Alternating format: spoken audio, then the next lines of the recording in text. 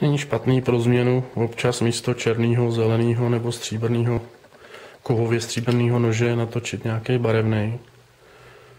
Nevěřili byste, jak to člověka potěší, když má zase pod displejem jinou barvu. Tohle je Mirko, záchranářský. A vychází z té oblíbené řady. Teď mě nedoset liner lock. To byla moje chyba. Samozřejmě dosedá v pohodě. Ale právě tímhle tím otevřením nemusí vždycky zaskočit. Zvlášť, když je dobře udělaný, protože když je dobře udělaný, tak skáče na krajíček a je potřeba, aby si sednul. Rozbíječ oken.